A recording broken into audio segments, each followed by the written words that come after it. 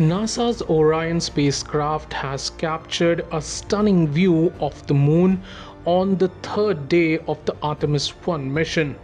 Orion maneuvered its solar array and captured the moon with a camera mounted on the end of the array.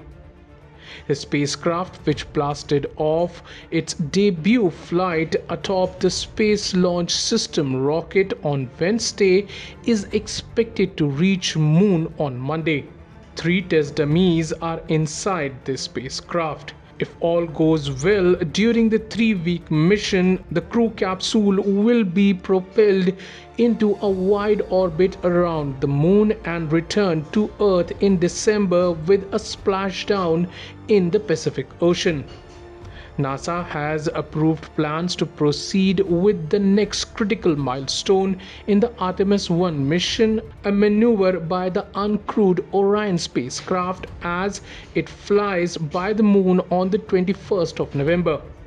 NASA announced late on November 19th that Artemis 1 mission management team approved the outbound powered flyby or the OPF maneuver a burn by the Orion's main engine as the spacecraft passes about 130 kilometers above the lunar surface. The maneuver will send Orion out towards a distant retrograde orbit around the moon.